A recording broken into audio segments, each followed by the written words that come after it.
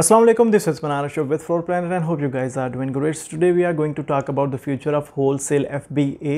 Uh, बहुत ज़्यादा comments जब फेसबुक पर आ रहे होते हैं या यूट्यूब वीडियोस के कमेंट्स में कि यू नो स्टूडेंट्स जो हैं या बेसिकली बिगनर्स जो हैं या ऑलरेडी जो सेलर्स हैं they are confused about the future of wholesale क्योंकि बहुत ज़्यादा लोग जो है मार्केट में इंटर करते हैं और क्योंकि इसमें कुछ आसानियाँ हैं होलसेल के बिज़नेस में रिस्क कम होता है ईज़ी टू डू है।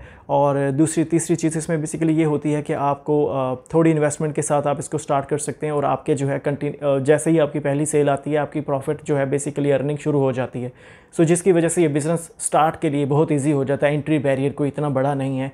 आपको जस्ट प्रपोजल की ज़रूरत होती है आपके जैसे अप्रूवल होता है प्रपोजल का और आपको ऑर्डर्स पहुँचता है तो उसके बाद आपकी सेल्स आना शुरू हो जाती है। इसमें कोई advertising marketing listing optimization sorry listing optimization जैसी कोई भी चीज़ इंक्लूडेड नहीं होती जिसकी वजह से आपके लिए कोई ज़्यादा हसल नहीं होती और आप जो है इस तरह के प्रोडक्ट्स को मल्टीप्लाई करते जाते हैं मैक्सिमम प्रोडक्ट्स आप ऐड कर सकते हैं।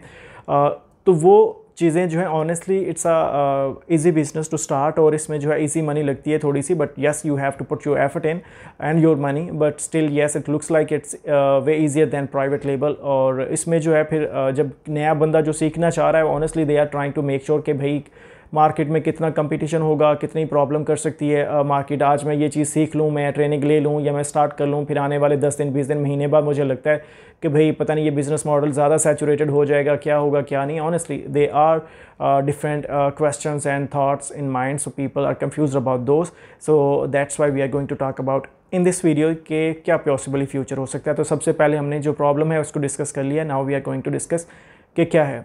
देखिए, मेरे अकॉर्डिंग अगर मैं अपने एक्सपीरियंस की बात करूँ, जो कि ऑलमोस्ट सिक्स ईयर्स का एक्सपीरियंस होने वाला है मार्केट के अंदर, और जहाँ तक मुझे ये लगता है कि ऑन आने वाले टाइम के अंदर मार्केट जो है होल सेल को इतना फेवर करती हुई नज़र नहीं आती है उन लोगों के लिए फेवरेबल बिज़नेस होगा, जो एक्सक्लूसिवली जो है, उन्हीं ही को प्रोडक्ट जो है, वो मिल रहा होगा।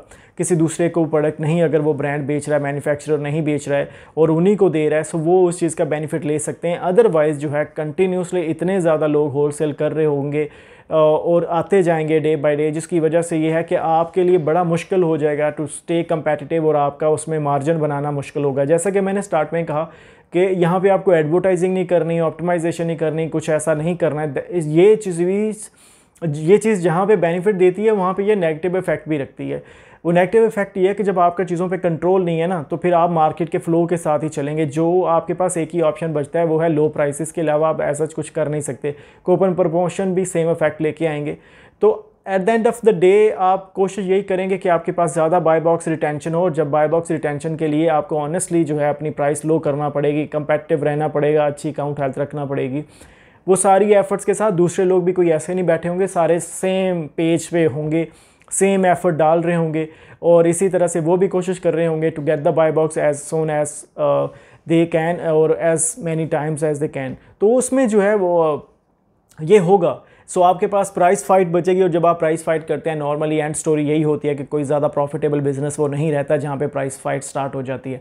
सो so, मेरे अकॉर्डिंग जो मुझे लगता है आने वाले दिनों में ये बिज़नेस और ज़्यादा प्रॉब्लमेटिक होगा क्योंकि जब एक कहीं सर्टिफिकेशन रिक्वायरमेंट आती है कोई डॉक्यूमेंट्स रिक्वायरमेंट आती है और अगर नहीं सबमिट की जा सकती आपके अकाउंट लेवल के ऊपर तब भी आपके लिए प्रॉब्लम्स होती हैं। सो so, मुझे लगता है जहाँ तक मैं अपनी अंडरस्टैंडिंग कहूँगा वो ये है कि आने वाले दिनों में ये बिज़नेस इतना कोई प्रॉफिटेबल नहीं रहेगा। ये सिर्फ़ उन लोगों के लिए बिज़नेस है जो एक्सक्लूसिवली लेते हैं और या इतना बल्क में लेते हैं कि दूसरों को जो है वो प्राइसेस में अच्छी फ़ाइट दे सकते हैं। सो उन लोगों के लिए तो ये कहीं कंसिडरेबल बिज़नेस नज़र आता है। अदरवाइज़ ये है ये थोड़ा सा प्रॉब्लम करेगा मेरे ख्याल में और ये मुझे कुछ ज़्यादा लंबी देर चलता हुआ नज़र नहीं आता।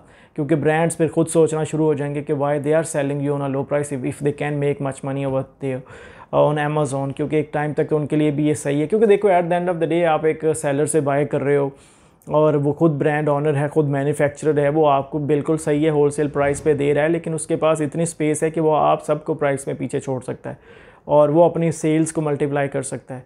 सो so, बहुत सारी चीज़ें हैं। कुछ मार्केट में ऐसे सेलर सप्लायर्स भी हैं जो इस चीज़ का बेनिफिट उठाते हैं। उनकी अपनी सेल्स तो कुछ नहीं होती क्योंकि वो कोशिश करते हैं कि दूसरे लोग उनसे बल्क में लेते रहें और फिर उसके बाद जो है वो इतने एफर्ट नहीं करते क्योंकि वो बल्क में उनको जहाँ हो रही होती है। और and at the end of the day उन्हीं की लिस्टिंग्स हैं उन्हीं के ऊपर रिव्यूज़ आ रहे हैं तो उनको कोई डैमेजिंग पॉइंट भी नहीं है।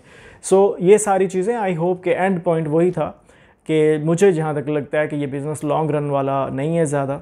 शॉर्ट टर्म के लिए ठीक है एक साल डेढ़ साल मैक्स लेकिन उससे ज़्यादा के लिए मुझे लगता है कि आपको कंसीडर करना चाहिए प्राइवेट लेबल या कोई और बिज़नेस मॉडल जो है वो आपको कंसीडर करना चाहिए या इस बिज़नेस को इतना बल्क में ले जाएँ ताकि आपके लिए आने वाले दिनों में जब आपके कुछ प्रोडक्ट्स नहीं भी परफॉर्म कर रहे तो कुछ दूसरे प्रोडक्ट्स जो हैं वो परफॉर्म कर सकें।